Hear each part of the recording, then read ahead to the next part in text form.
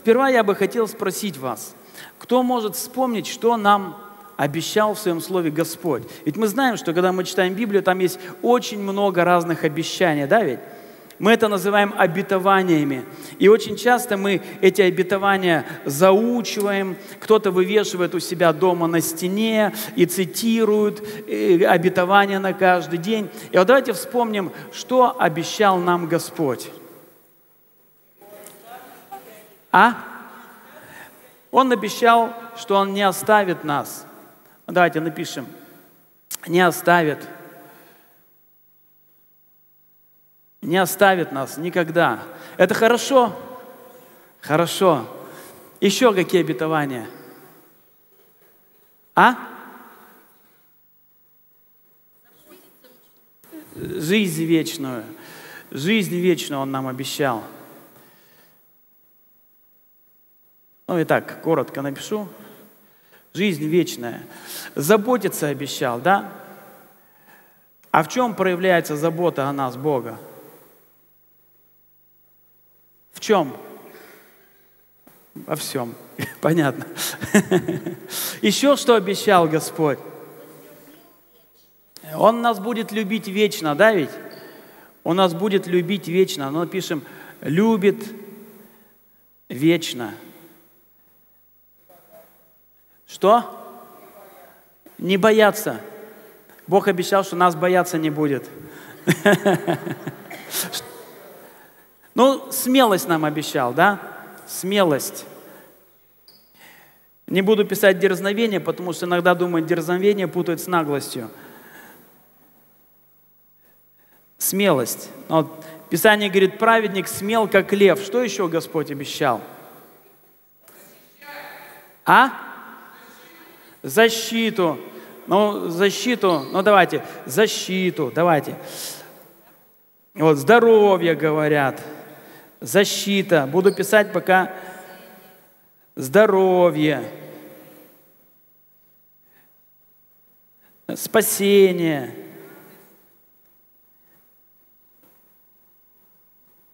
Спасение, радость, да?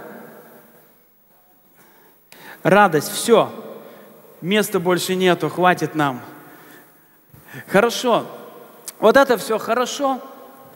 Вы когда-то переживали в своей жизни, что вот вы просто чувствовали, что Бог не оставляет вас. Вот какая-то ситуация трудная, вы чувствуете, Бог рядом. А кто переживал заботу Божью? Переживали? А люб, вот, любовь Божью переживали? Вот просто сидите, и вдруг вас накрыло, и вы так, ой, оказывается, Господь любит меня. Или защиту переживали? Переживали. Здоровье. Кто-нибудь исцеление переживал? Переживали. Ну, спасение. Кто-нибудь пережил спасение здесь? Радость. Ну, тоже иногда бывает, да ведь? Иногда что-нибудь сойдет на нас, мы радуемся. Но знаете, э, когда мы читаем Библию, когда мы читаем Библию, мы видим, что Господь обещал нам не только это. Не только это. Конечно, мы как люди хотим все вот это. Но если мы с вами почитаем некоторые местописания, я не буду их читать, я просто э, скажу местописание, и вы поверите, что там это написано. Иоанна 15, 18, 20. Там Иисус говорит, что нас будут ненавидеть, ненавидеть нас будут. Нас будут что еще? Гнать. Что еще будут? Неправедно злословить. Неправедно злословить. Еще что будут? Убивать. Да, в России мы сегодня даже не верим, что нас, оказывается, могут убивать. Но если вы приедете в исламские страны, там сегодня это они живут этим, что их просто за Христа могут убить. И то, что сегодня убивает христиан, отрезает им головы, распинает на крестах, это, это реально. Иисус сказал, что вас будут ненавидеть, вас будут гнать, вас будут неправильно злословить, вас будут убивать, про вас будут говорить, что вы сумасшедшие, то есть обвинять вас ну, не в сумасшествии, а безумие, что вы будете, вас будут обвинять в безумии. Помните, когда родители пришли за Иисусом, они подумали, что Он не в себе, Он вышел из себя, да? Даже мать Иисуса подумала, что-то с ним, наверное, не то, перегрелся. А когда Павел защищался перед Фестом, Фест сказал, безумствуешь ты, Павел, великая ученость довела тебя до безумия. Конечно, нам приятнее все вот это, согласны?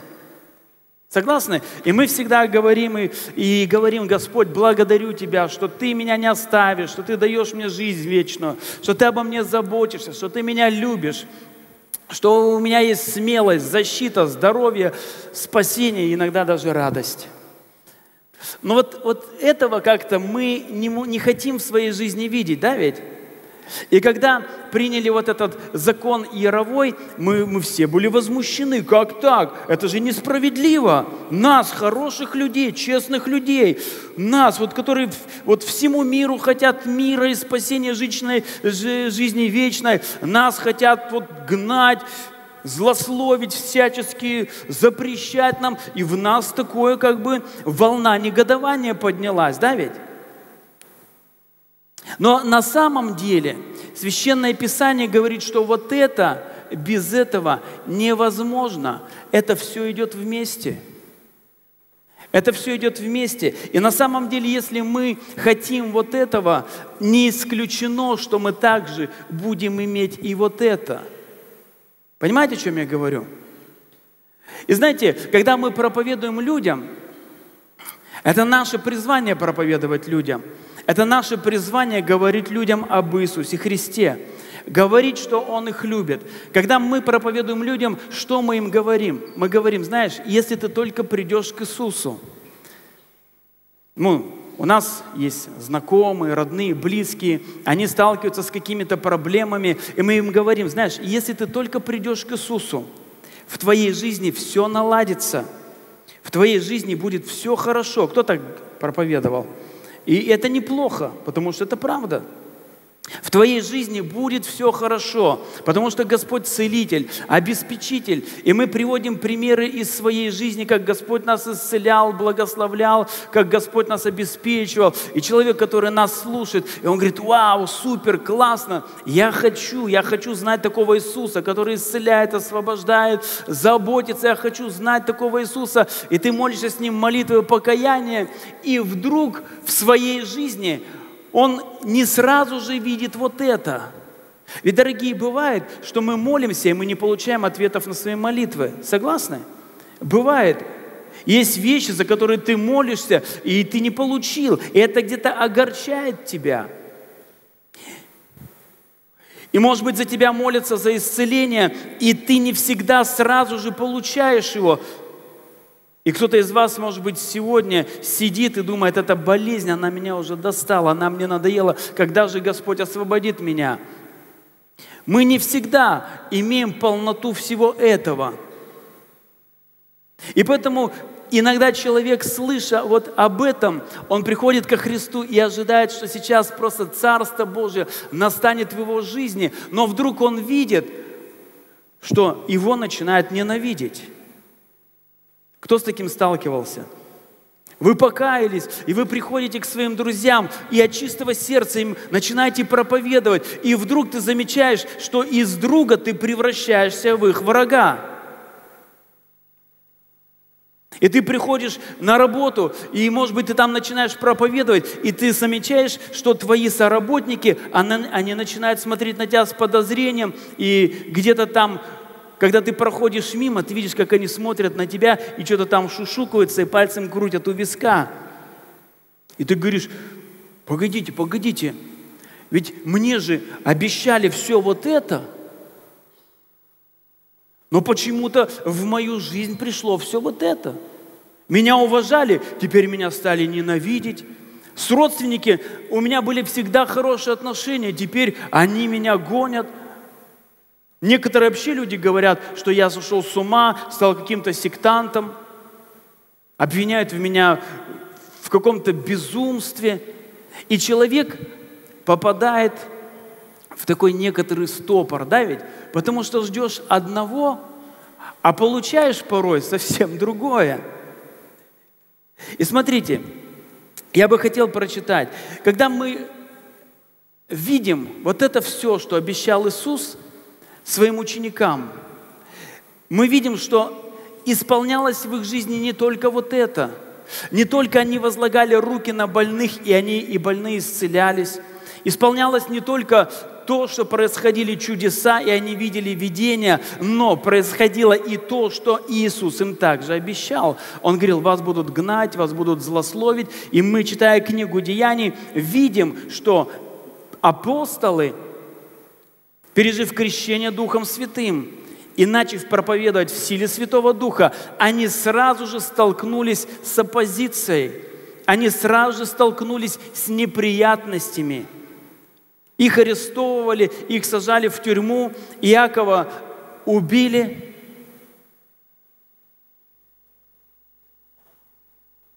Я хочу прочитать вам. Вы понимаете, о чем я говорю?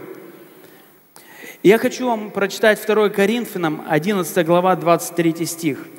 И здесь апостол Павел говорит такие слова. «Христовы служители, в безумии говорю, я больше – я гораздо более был в трудах, безмерно в ранах, более в темницах и многократно при смерти. От иудеев пять раз дано мне было по сорок ударов без одного. Три раза меня били палками, однажды камнями побивали. Три раза я терпел кораблекрушение, ночь и день пробыл во глубине морской. Много раз был в путешествиях, в опасностях на реках, в опасностях от разбойников, в опасностях от единоплеменников, в опасностях от язычников, в опасностях в городе, в опасностях в пустыне, в опасностях на море, между лжебратьями, в труде, в изнурении, часто в бдении, в голоде и в жаже, часто в посте, на стуже и в ноготе. Кроме посторонних приключений у меня ежедневно стечение людей, забота о всех церквях. И знаете, когда мы читаем апостола Павла, мы мы смотрим, что куда бы он ни приходил, везде опасности. На море опасности, в городе опасности, в пустыне опасности. То есть жизнь апостола Павла практически была сплошное. Вот это, да ведь? Если мы почитаем. И дальше апостол Павел говорит такие слова. 1 Коринфянам 15 глава 30 стих. «Для чего и мы, ежечасно подвергаемся бедствиям. Я каждый день умираю. Свидетельствует в том похвалою вашу, братья, которую я имею во Христе Иисусе Господе нашим, по рассуждению человеческому, когда я боролся со зверями в Ефесе, какая мне польза, если мертвые не воскресают? Станем есть и пить, ибо завтра умрем. И вот здесь апостол Павел, описывая всю свою жизнь, все свои гонения, страдания, голод, он задает естественный вопрос. И он говорит, послушайте, дорогие, а для чего все это вообще мне надо? Да ведь? Нет, я, я понимаю, я понимаю, дорогие, что вот это мне все надо. Согласны? Мне надо исцеление, мне нужна забота Божья, любовь вечная, смелость, защита. Это все мне надо. И дело в том, что Бог это нам дает. Но когда речь касается вот этого, мы говорим, не, Господь, а вот это мне не надо. Вот можно, Господь, только вот это без этого. Помните, раньше в 90-е годы или в конце 80-х, не помню, как они назывались, но чтобы купить консерву или что-то, тебе туда клали еще килограмм чего-нибудь, что тебе абсолютно не надо. Как это называлось? А? Нагрузка, да.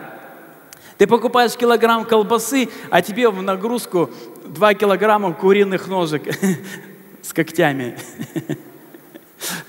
И ты говоришь, погодите, мне вот эти когти куриные не нужны. А тебе говорят, извините, правила такие, это в нагрузку. Хочешь колбаски, покупай когти. Так вот здесь, дорогие, Священное Писание говорит, у Бога тоже есть нагрузка.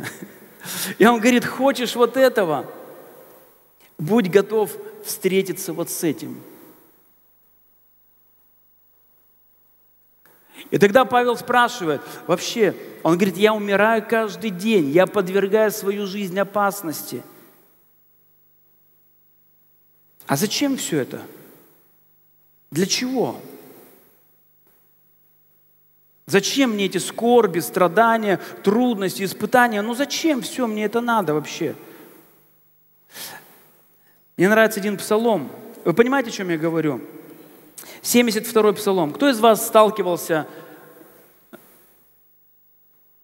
с какими-то этими вещами? Вы никогда не думали, а зачем мне все это надо? Я человеку делаю добро, он ко мне повернулся спиной. Зачем мне вообще это все надо? Вот кому-то идти, говорить, доброе делать. И мы начинаем потихоньку скатываться на философию этого мира. Не делай добра, не получишь зла – и мы начинаем говорить, да вот надо это, вот буду жить своей жизнью, чтобы меня никто не трогал, меня не кантовали, меня не тревожили. Вот зачем? Пришел к человеку, сделал добро, он говорит, сектант несчастный. Зачем? Вот, вот буду, вот Бог меня вот это дает, буду жить спокойно, тихо, мирно. Зачем мне все эти проблемы? И вот здесь 72-й э, псалом. Э, мне нравится, здесь очень хорошие слова. Асав Асав здесь вначале смотрит на Израиль. Он замечает много неправильных вещей в Израиле, если вы будете читать с первых стихов. Он говорит, что он видел, как беззаконные процветают, благоденствуют, как у них все классно, как у них все хорошо. И в 15 стихе, в 13. Асав практически задает такой же вопрос, как Павел. Так не напрасно ли я очищал сердце мое и омывал в невинности руки мои и подвергал себя ранам всякий день и обличением всякое утро. И вот Асав, видимо, тоже страдавший за свою веру, как и апостол Павел, он говорит, а не напрасно ли все это? Не напрасно ли я очищал свое сердце, омывал руки в невинности? Не напрасно ли я переживал какие-то обличения? Зачем все это мне вообще надо? Для чего? Он смотрел на людей этого мира и говорил, ну, живут же люди и без Бога нормально. И Асав говорит, многие даже живут лучше, чем я. И посмотришь на них, они счастливее, чем я. Без Христа? Зачем все? Асав говорит тоже, не напрасно ли все это? И Павел спрашивает, для чего я каждый день умираю, подвергаясь оскорбям, радостям, вернее, трудностям разным. И знаете, как-то я читал одно местописание, оно вам известно, но это очень хорошее местописание – которое должно все поставить на свои места в нашей жизни. Не очень просто, но все должно поставить на свои места. Смотрите, в 1 Коринфянам 15-19 апостол отвечает на этот вопрос, для чего все это надо? Для чего он подвергался опасности? И здесь он говорит, и если мы в этой только жизни надеемся на Христа, то мы несчастнее всех человеков. Смотрите, когда я читал это местописание, оказывается, что можно быть верующим во Христа, можно иметь надежду на Него, но при этом быть несчастнее – чем люди этого мира. Понимаете? То есть можно верить во Христа, Можно надеяться на Него, но быть несчастнее, чем люди этого мира. Именно поэтому, когда Асав смотрел на людей этого мира, и он говорит, так, по-моему, они счастливее, чем я. Я-то для чего все это делаю? И смотрите, здесь апостол Павел, он разделяет, ну так скажем, жизнь на две части. Да ведь? Он разделяет жизнь на эту и на какую-то еще другую. И когда мы читаем вот эти слова апостола Павла, мы можем сказать, Павел, ну ты опять безумствуешь. А ради какой же жизни нам еще надеяться на Христа? Возможно, Павел, вернее Петр, написал, что в словах Павла есть что-то неудобовразумительное, прочитав эту фразу, если мы только в этой жизни надеемся на Христа. И когда мы приходим ко Христу, ведь не секрет, что очень часто мы приходим, потому что в нашей жизни какие-то трудности, какие-то проблемы, и мы приходим в надежде, что Господь эти проблемы разрешит. Согласны? Что Бог, и мы так говорим людям, послушай, у тебя проблемы в жизни, приди ко Христу, и твои проблемы, они будут решены. Можем ли мы надеяться на Христа в этой жизни? Можем ли мы надеяться на Христа в этой жизни? Конечно. Конечно. Конечно, мы, мы верим, что Бог, Он всемогущий. И когда мы сегодня молились за нужды, Алексей говорил, что какие бы ни были проблемы в нашей жизни, мы можем сохранять покой. Бог может давать нам сверхъестественный покой. Он может вмешиваться в ситуации. Он может воскрешать мертвых. Он может воскрешать мертвых? Может. Он может сегодня исцелять. Может. Он может сегодня благословлять. Конечно, может. Мы верим в того же Бога, который вчера, сегодня и во веки тот же, для которого нет ничего невозможного. И это нормально, надеяться на Христа в этой жизни. В этом нет ничего плохого. Это нормально, когда у тебя есть нужда, и ты молишься и говоришь, Господь, у меня есть проблема, у меня есть нужда. И Писание говорит, возлагайте свои нужды на Бога, и Он даст вам свой мир. Но знаете, иногда я замечаю, что у христиан очень мало радости. Я иногда замечаю это в себе – вот если вот честно сказать, кто из вас может сказать сейчас, я счастливый человек? А кто может так стопроцентно сказать, я счастливый человек? Вот честно, не потому что вот просто так надо сказать, как это, я скажу, что я несчастный, и мне тут посмотрят, соседи скажут, у тебя что, веры нету, что ли? Иногда мы говорим то, что нам надо сказать, а не то, что правильно сказать, не то, что по правде сказать, да ведь? Иногда я себя, скажу честно, я себя чувствую несчастным человеком. Иногда мы погружаемся в депрессию, в уныние, да ведь? Вы помните, может быть, эту историю с Лютером, когда он впал в очень жесткую депрессию, и он несколько дней сидел закрытый в депрессии – И однажды жена его оделась во все черное, в траурной одежды. И когда он вышел из своей комнаты и увидел ее в траурной одежде, он спросил, дорогая, у нас кто-то умер? И она сказала, дорогой, глядя на тебя, я подумала, что умер Христос. И он вышел из депрессии. Но в нашей жизни бывает такое, да ведь? Иногда ты чувствуешь себя просто несчастным человеком.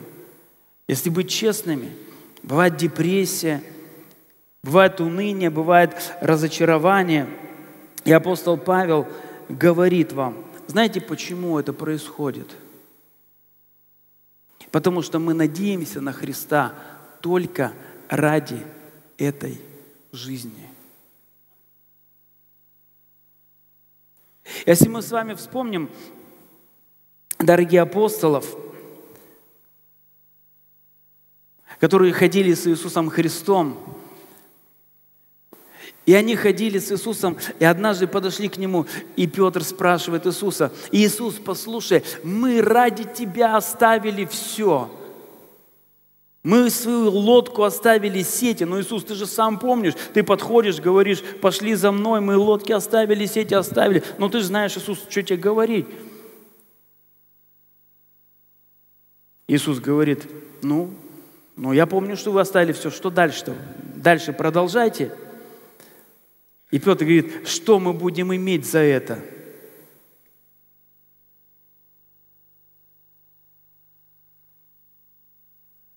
А мать двоих учеников подходит и что-то бубнит себе под нос. Иисус говорит, что ты говоришь? И она говорит, Иисус, на ушко, чисто по-матерински – и он подходит к ней, она говорит, Иисус, вот как-то можно сделать так, чтобы вот в Царстве Твоем мои дети сели по правую и по левую руку от Тебя, ну, так поближе, как-то поуютней. О небесном ли Царстве они говорили?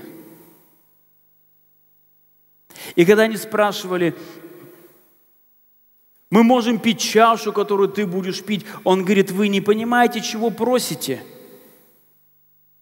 вы не понимаете, чего просите. Они говорили, Иисус, понимаем, все понимаем, о чем мы просим. Мы будем пить ту же чашу, которую ты будешь пить. Он говорит, хорошо, будете. И какую чашу они пили? Кто помнит? Какую чашу они пили? Они пили вот эту чашу. Да ведь? Они пили вот эту чашу. И мы говорим, если все так, то зачем? то зачем все это? И когда мы читаем, дорогие, слова Иисуса Христа, я, я просто скажу честно, сегодня в мире масса-масса разочарованных христиан. Христиан, чьи надежды не оправдались, кто сказал, Бог меня не слышит, Бог меня не отвечает, потому что я молился, а Бог не давал, больше не буду молиться, и я больше не буду ходить в церковь, и вообще ничего общего со Христом я не хочу иметь, потому что я ждал, я надеялся, я не получил. И тут вопрос, подожди, а когда ты молился, ты спросил, Господь, а какая твоя воля вообще – Очень часто мы о чем-то молимся, и мы даже не спросим, Господь, а как ты хочешь? Понимаете, о чем я говорю? Как ты хочешь, Господь? Вот я хочу вот так.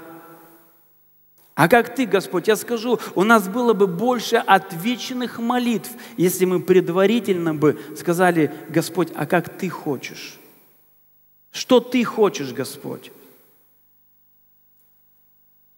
Порой наши молитвы, они пропитаны нашим эгоизмом, пропитаны нашим желанием как-то получше приспособиться здесь, на этой земле, поуютнее. И не секрет, что масса людей, они имеют одно желание – получше устроиться здесь, на земле. Понимаете, о чем я говорю? И, к сожалению, очень часто христианство переходит на этот же уровень, и мы становимся очень приземленными. И мы проповедуем о том, как тебе лучше здесь жить на земле, чтобы тебе было покомфортнее, там, э, 10 путей к процветанию, 20 путей к успеху, 30 путей, чтобы тебя все любили, 15 путей, чтобы тебя все слышали, 16 путей, чтобы тобой все любовались и все прочее. Да?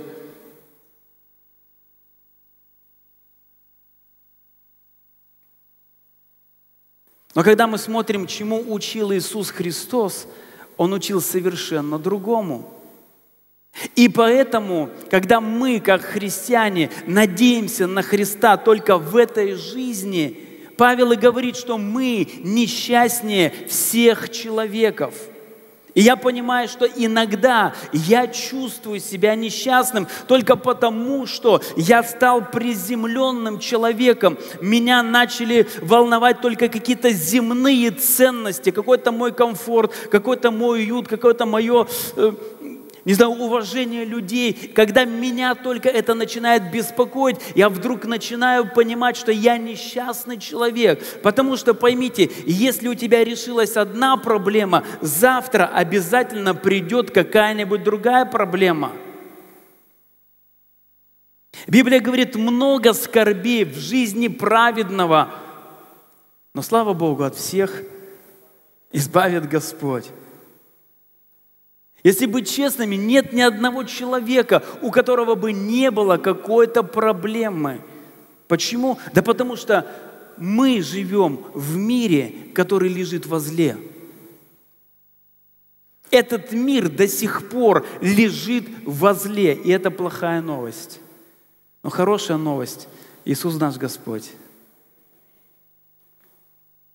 И поэтому часто мы видим, что люди, которые шли, шли за Христом, Иисус сам сказал, вы шли за мной по одной причине, потому что вы ели хлеб и насытились, вам было хорошо здесь, на земле.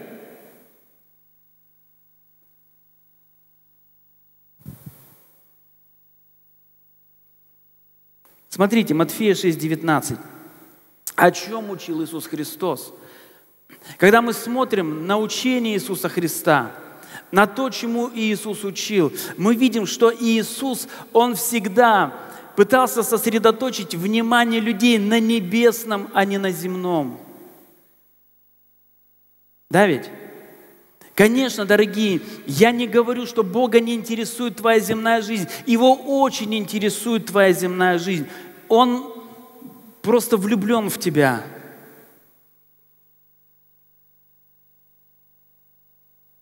Он переживает за тебя. Он желает вмешиваться в твою жизнь. Он желает спасать тебя в различных ситуациях. Но когда Иисус учил, Он говорил, поймите, не это главное – Все служение Иисуса, оно было сосредоточено, чтобы привести человека к небесам, чтобы показать ему какие-то другие ценности, которые гораздо больше, чем ценности этого мира. Помните, к Иисусу подошел юноша и сказал, Иисус, что мне делать, чтобы наследовать жизнь вечную? Иисус сказал, исполняй заповеди. И он говорит, Иисус, я исполняю все заповеди. Тогда Иисус сказал, хорошо, продай имение и раздай нищим. И этот юноша был очень богат. И он встал перед этим выбором. Что мне делать дальше? У меня есть богатство, но Иисус говорит, оставь мне и следуй за мной. У меня есть выбор. И здесь была борьба между ценностями, понимаете? Борьба между ценностями. Кто для меня сейчас более ценен? Вот, вот это все земное или Господь, который пришел, чтобы дать жизнь вечную? И знаете, вот в этом выборе юноша, этот юноша не одинок. За историю христианства и, и в современной церкви столько людей делает такой же выбор, как и он. Они говорят, Иисус, я понимаю, что ты хороший, я понимаю, что ты любишь меня, но обменивать вот эти мои земные ценности, наследование за тобой, я не согласен. И потом мы видим, как много разочарованных христиан оставляют церкви, оставляют Христа. Почему разочарованы? Потому что не того искали – Понимаете, о чем я говорю? Смотрите, Матфея, 19 глава, вернее, 6 глава, 19 стих. Здесь Иисус говорит такие слова. «Не собирайте себе сокровищ на земле». И мы говорим, Иисус, о чем ты говоришь? Это же противоречит здравому смыслу. Я всю жизнь работаю, чтобы собрать себе здесь сокровища на земле. Ведь, по сути, если быть честными, это так. Да ведь? Если быть честными, Иисус говорит, не собирайте себе сокровищ на земле, где моль и ржа истребляет, и где воры подкапывают и крадут. Но дальше он говорит, но собирайте себе сокровища на небе. И знаете, христианство порой настолько становится приземленным, что когда говоришь о небе, люди смотрят на тебя так и говорят, ну да перестань ты, ну перестань, ну что ты все вот о духовном, о духовном. Мы же здесь живем, вот на этой земле, и надо здесь брать от жизни все, пока есть возможность.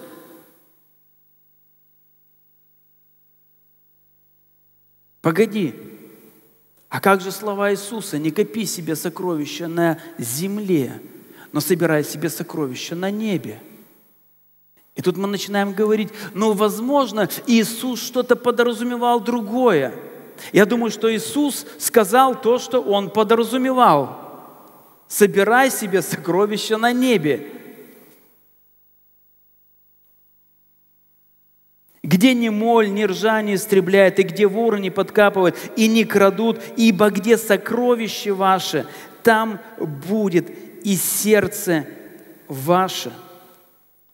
И Иисус говорит о небесах. И апостол Павел, он точно так же говорит, если вы только в этой жизни, ради этой жизни надеетесь на Христа, то вы несчастнее всех людей. И я понимаю, что я несчастнее всех людей бываю только потому, что я не понимаю того, что Господь приготовил любящим Его. Потому что я до сих пор так и не понял небесных ценностей. Потому что в моем разуме еще не произошло какого-то обновления, и я, следуя за Христом, продолжаю жить земными ценностями –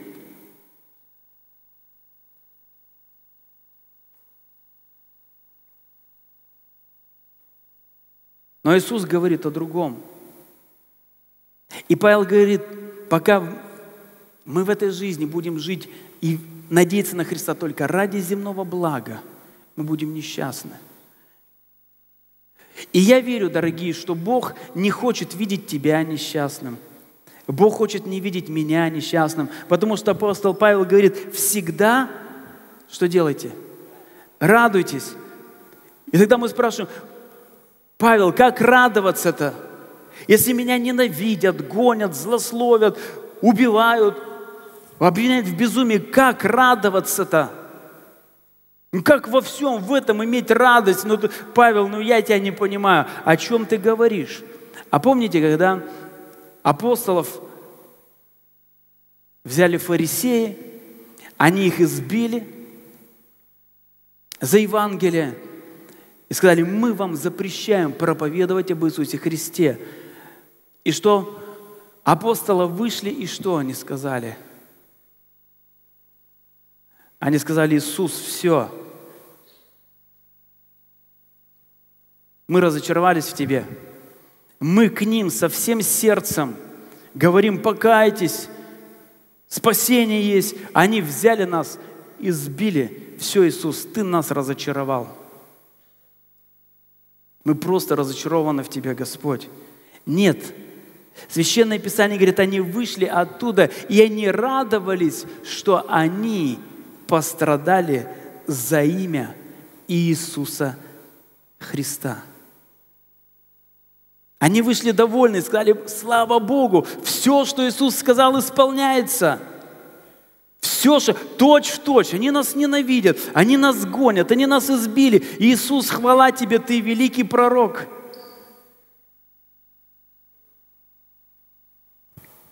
Смотрите, еще местописание. Филиппийцам 3.20. И здесь апостол Павел пишет великое откровение. Великое откровение – и он говорит здесь, наше жительство на небесах, откуда мы ожидаем и Спасителя Господа нашего Иисуса Христа. Вот пока мы не поймем, дорогие, что наше жительство небеса, и мы будем думать, погоди, да какие небеса, до небес еще, какие небеса, вот мое жительство, вот она, вот эта неотремонтированная квартира вечно, вот эта машина вечно глохнущая, вот оно мое жительство. И Павел говорит, дорогие, не-не-не, подождите, наше жительство на небесах – Наше жительство на небесах. И Писание говорит, здесь мы, странники и пришельцы. И поймите, дорогие, пока мы этого не поймем, дьявол будет постоянно говорить нам, вот если есть самый несчастный человек на земле, то это именно ты. И ты спросишь, «А почему? Ну, а ты посмотри на других – Посмотри, все как живут. А ты что? Ну что ты вот, посмотри на себя. Нет, есть счастливые люди, но только не ты. И ты опять погружаешься в депрессию, в уныние, и говоришь, да, Господь, ты обошел меня стороной. Счастье, птица счастья пролетела мимо меня – но апостол Павел говорит, наше жительство на небесах. И когда Павла спрашивали, Павел, для чего ты все вот это терпишь, все вот эти гонения, злословия, он говорит, я знаю. Я знаю, для чего это терплю. Потому что все, что есть здесь у меня на земле, это все однажды сгорит. У меня есть другие ценности. У меня есть другие планы, у меня есть другие мотивы, у меня есть другие цели – я не держусь за это земное. Поверьте, дорогие, Павла не держалось земное. Настолько сильно, насколько порой мы связаны с земным. Понимаете, о чем я говорю?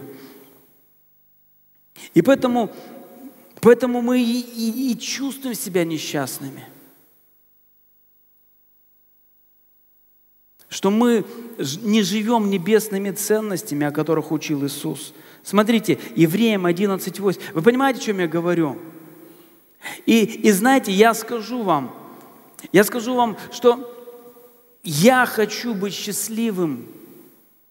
Я хочу иметь радость не потому, что у меня что-то появилось новое. Я хочу иметь радость не от каких-то материальных вещей, потому что, ну да, это приятно – но если вы замечали, эта радость, она кратковременная. Да ведь? Кто покупал новую машину? Радость была? Особенно, если ты с какой-нибудь пятнашки пересел на Тойоту. И, и когда ты пересел с пятнашки на Тойоту, и ты едешь, и ты такой радостный. И рядом останавливается пятнашка, и ты так открываешь окно и смотришь так. И ты радостный. И говоришь, это пройденный этап, этот кошмар. Но потом ты замечаешь, что ты уже садишься в свою новую Тойоту, и это тебя не так радует. Потому что земные вещи, они приносят временную радость.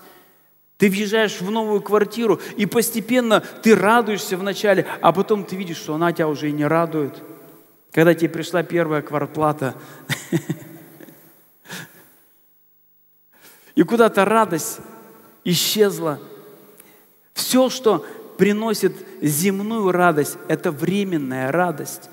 И Иисус и апостолы, они учили другому. Они учили другому. И здесь в Евреям 11.8 апостол Павел говорит, «Верою Авраам повиновался призванию войти в страну, которую имел получить в наследие» и пошел, не зная, куда идет. Верой он обитал на земле обетованной, как на чужой, и жил в шатрах с Исааком и Иаковом, сонаследниками того же обетования, ибо он ожидал города, имеющего основание которого художник и строитель Бог.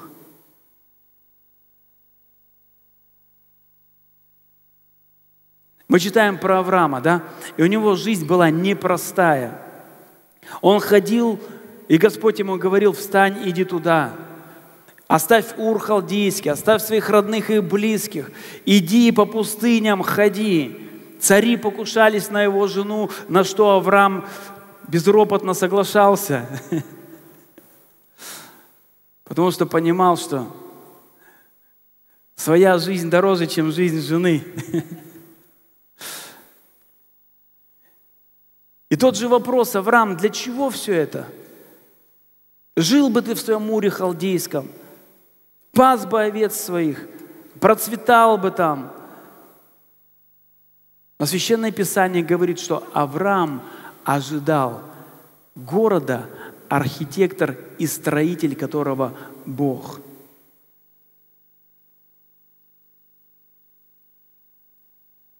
И теперь мы понимаем, почему апостол Павел, проходя все эти трудности и находясь в тюрьме, он мог написать, дорогие, всегда радуйтесь. Павел, ты что? Ты сидишь в тюрьме, избитый, голодный, и ты нам пишешь всегда радоваться. Он говорит, всегда радуйтесь. Павел, почему? Да потому что, дорогие, я не только в этой жизни надеюсь на Христа. Да, Христос меня спасал, исцелял в этой жизни, но есть что-то больше, есть другая жизнь, которая называется жизнь вечная. Понимаете? И вот ради этого, ради вечной жизни, дорогие, Ради вечной жизни мы живем здесь, на этой земле, проходя все эти трудности, потому что мы знаем, что в один день мы оставим эту землю, мы оставим это тело, и нас ждет нечто гораздо лучшее и большее. И вот это, дорогие, и должно делать нас счастливыми, понимаете? Просто ли это? Я скажу, не всегда. Потому что чаще всего мы как люди, мы живем видимым. Мы живем видимым, да ведь? И мы, мы сфокусированы на видимом, на своих проблемах, на своих трудностях, на своих долгах. И если мы на это смотрим каждый день своей жизни, то мы будем несчастны. Поэтому Писание говорит, дорогие, помышляйте о горнем. Я не отрицаю, что у меня есть какие-то проблемы. Я не отрицаю, что у меня есть какие-то трудности, но я признаю то, что у меня есть жизнь вечная. Я признаю то, что Бог держит меня в своих руках – я признаю то, что я могу копить себе сокровища на небесах. Я признаю то, что в один день я оставлю эту землю, которая лежит возле, и мои ноги встанут на улицах Небесного Царства. Понимаете, для многих христиан это звучит как какой-то миф, понимаете? Мы очень часто используем принципы христианства для каких-то земных успехов. И, и факт остается фактом, что многое, что есть в бизнесе, в разных компаниях, в разных структурах, оно взято именно вот отсюда, из священного писания. Взято отсюда, но взято не для того, для чего Господь это дал. Понимаете? Мы хотим, используя вот это, хорошо устроиться на земле. Но Господь дал нам вот это, чтобы мы хорошо устроились вот там. Именно поэтому Иисус и сказал, ищите прежде чего? Царство Божьего и все остальное. Поймите, дорогие, Бог знает твою нужду. Он любит тебя. Он силен удовлетворить твою нужду. Но Он говорит, ищи прежде Царство Божьего и все остальное, все, что тебе необходимо, поверь, Бог приложит тебе.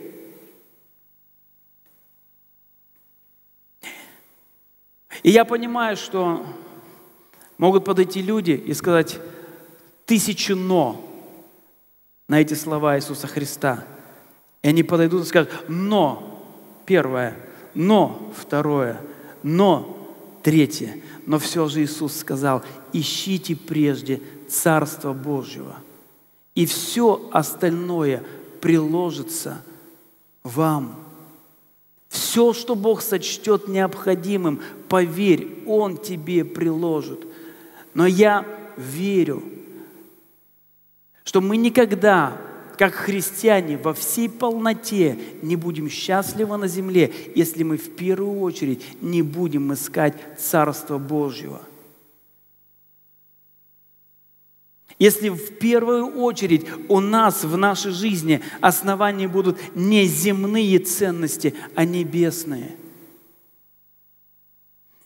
Мы так и не станем никогда и не испытаем полноценного счастья, если мы Христа будем как будто использовать только здесь, для этой жизни, но не скажем Ему, Господь, используй меня для вечной жизни. И последнее место, которое я бы хотел прочитать. Вы понимаете, о чем я говорю? Понимаете? И знаете, на самом деле это, это не дело одного дня.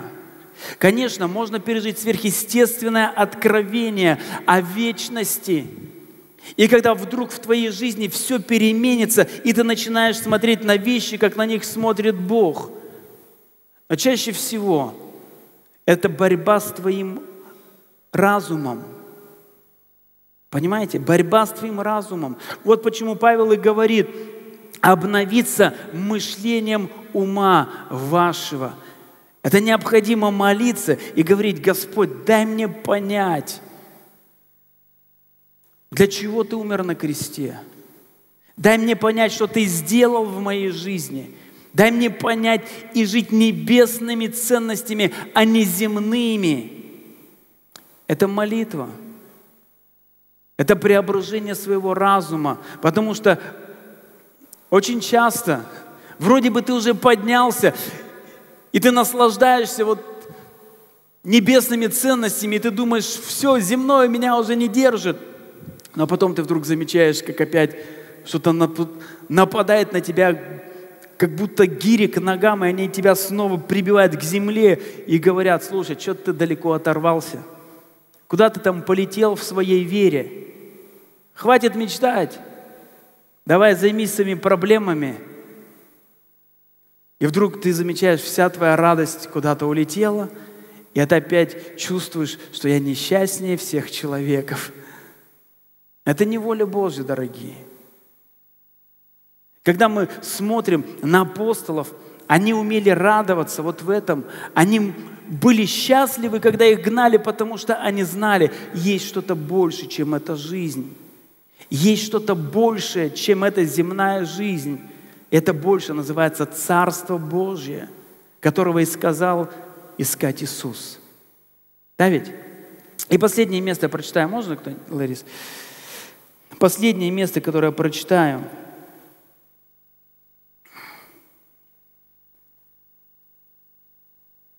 Откровение 21 глава, 1 стих. И здесь Иоанн говорит, «И увидел я новое небо и новую землю, ибо прежнее небо и прежняя земля миновали, и моря уже нет». И я, Иоанн, увидел святый город Иерусалим, новый, исходящий от Бога, с неба, приготовленный как невеста, украшенная для мужа своего. И услышал я громкий голос с неба, говорящий, «Се скиния Бога с человеками, и Он будет обитать с ними, они будут Его народом, и сам Бог с ними будет Богом их». И понимаете, Бог открыл Иоанну конец всей истории. История этой земли, история всего человечества. Он открыл Иоанну в этом видении. Знаете, сегодня много споров, сколько Земля еще просуществует. Мы не знаем, сколько она просуществует. Да ведь? Но я знаю твердо, что говорит Священное Писание. Иоанн говорит, «И я увидел новое небо и новую землю, ибо прежнее небо и прежняя земля миновали, и моря уже нет». Поймите, то, ради чего, из-за чего мы хотим стать счастливыми, оно однажды все лопнет – и все, на чем мы построим, хотим построить свое счастье здесь, на земле, однажды это просто исчезнет. Этого не станет.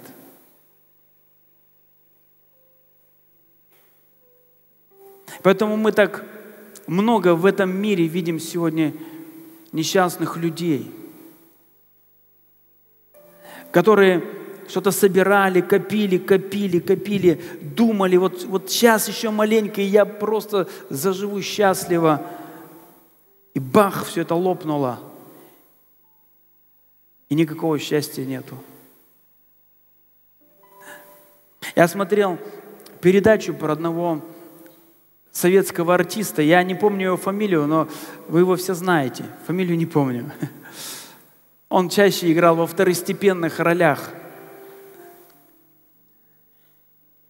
И всю свою жизнь он жил с женой, и они копили деньги. Они копили деньги и думали, вот когда мы уйдем на пенсию, у нас будут деньги, и мы будем путешествовать по всему миру, мы будем ездить. И когда пришли 90-е годы, начались эти реформы, и все деньги, которые они накопили, они просто пропали – этот артист со своей женой, они умерли в бедности. Они никуда не смогли съездить, потому что все их счастье, на которое они так рассчитывали, оно просто исчезло. Просто исчезло. Поймите, земное никогда не сделает тебя до конца счастливым. Кто-то думает, если я хорошую жену найду – вот мне для счастья ничего не надо. Мне вот сейчас, я так счастливый, но если мне хорошую жену найти, вообще предела счастья не будет. Ты женился, прошел год, два,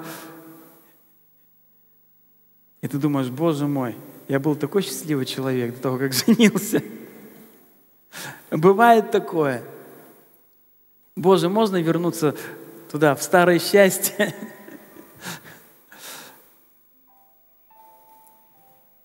И ты получаешь что-то земное, ты понимаешь, не, и это меня не сделало счастливым, и это меня не сделало счастливым. И ты думаешь, вот родятся дети, вот я просто так люблю детей, буду счастливыми. Родились дети, такие проблемы пришли в твою жизнь. И ты думаешь, Боже, я же думал, вот дети меня счастливыми сделают. А как родились, такое ощущение, что я еще несчастнее стал. Я их люблю, конечно, все, но столько проблем, оказывается. Они есть хотят.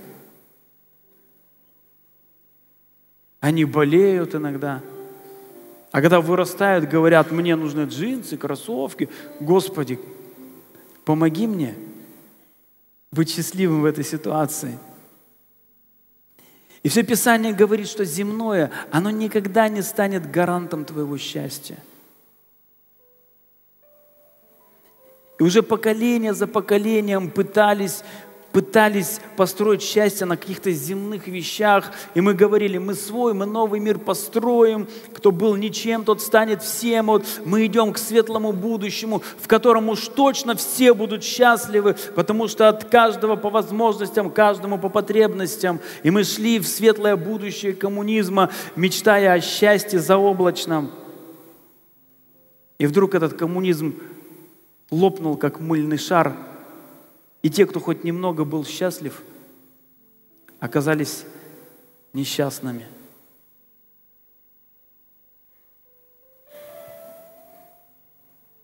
Именно поэтому Павел и говорит, дорогие, если мы только в этой жизни надеемся на Христа, мы несчастнее всех человеков. Есть другая жизнь. Есть другая жизнь, по сути, ради которой ты пришел Христос – он пришел не просто, чтобы мы здесь устроились на земле поудобнее. Он пришел и сказал, знаете что, у меня там у Отца обителей много. Там обителей много. И я вас там жду, говорит Господь, свою невесту.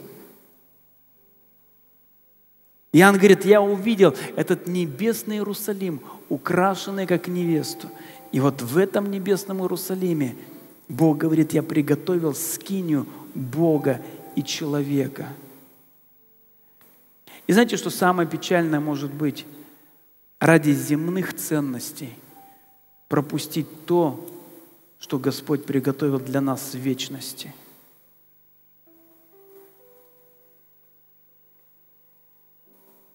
Именно поэтому мы и молимся, Господь, дай понять, что Ты приготовил для нас в вечности –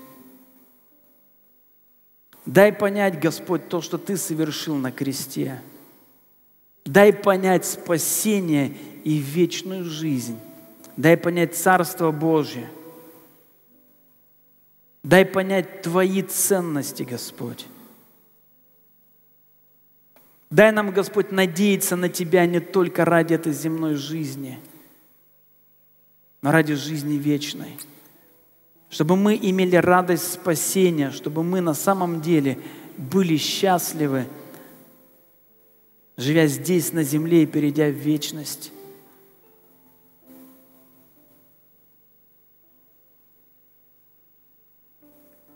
Давайте закроем глаза. И просто посмотри внутрь себя и скажи себе, спроси себя, я счастлив? Если ты говоришь внутри себя, я чувствую себя несчастным, тогда спроси, почему ты чувствуешь себя несчастным? Почему ты думаешь, что все счастливее тебя?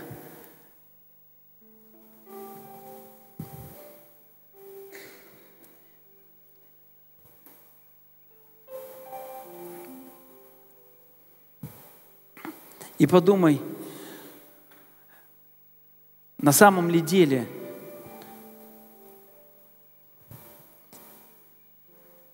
то, что ты считал, что сделать тебя счастливым, это правда.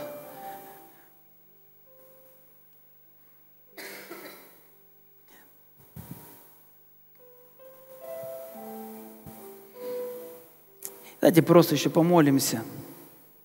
Аллилуйя, Господь всемогущий. Иисус, мы верим, что Ты пришел для того, чтобы нам дать жизнь с избытком. Мы верим, Господь, что в спасении заключена великая радость. Мы верим, Господь, что Ты спас каждого из нас своей благодатью, избавил нас от вечной смерти, от проклятия и власти дьявола – ты избавил нас от вечного мучения. Ты пришел в нашу жизнь, Господь. И мы верим с одной целью, чтобы мы имели Твое благословение, чтобы наполнить нас жизнью с избытком. И, Господь, прямо сейчас мы молимся во имя Иисуса Христа – Дай нам понять то, что Ты приготовил любящим Тебя. Мы молимся, Господь, чтобы наша земная жизнь, она не строилась на каких-то земных ценностях. Господь, мы не от мира сего. Наше жительство на небесах. Мы граждане небес. Мы здесь странники и пришельцы, Господь. Ты призвал нас к определенной миссии здесь, на земле. Служить Тебе поклоняться Тебе, славить Тебя, служить другим людям, Господь. И мы молимся, Отец Небесный, во имя Иисуса Христа, чтобы наше мышление изменилось, наши ценности изменились, чтобы мы имели радость от того, что вечно –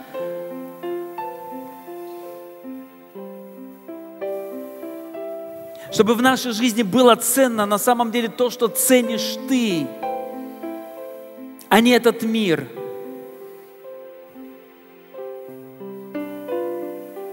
Мы молимся, Господь, во имя Иисуса Христа.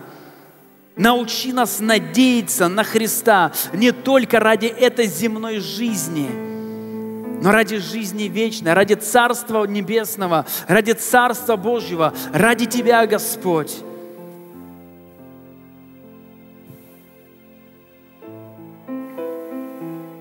И прямо сейчас, Господь Всемогущий, я молюсь за тех людей здесь, на этом месте, кто прямо сейчас чувствует, что его жизнь – это сплошное несчастье. Я молюсь, Господь, за тех людей, кто уже долгое время живет в унынии, в разочаровании, может быть, в депрессии. Я молюсь, Господь, во имя Иисуса Христа, коснись. Я знаю, Бог, это не Твоя воля – я знаю, Господь, Ты пришел, чтобы выпустить измученных на свободу во имя Иисуса Христа. Я молюсь, Господь, пусть Твоя радость придет – Пусть это слово, Господь, поможет оторваться от этих земных проблем и устремиться и помышлять о горнем, где Ты одесную Отца. Во имя Иисуса Христа я молюсь за этих людей, Господь, чтобы они увидели ту ситуацию, в которой находятся, так как Ты ее видишь глазами веры во имя Иисуса Христа. Господь, пусть это дьявольское рабство – оно будет сокрушено именем Иисуса. Пусть эта тьма, которая ослепила чей-то разум здесь, на этом месте, будет сокрушена во имя Иисуса Христа. Аллилуйя. Аллилуйя, Господь.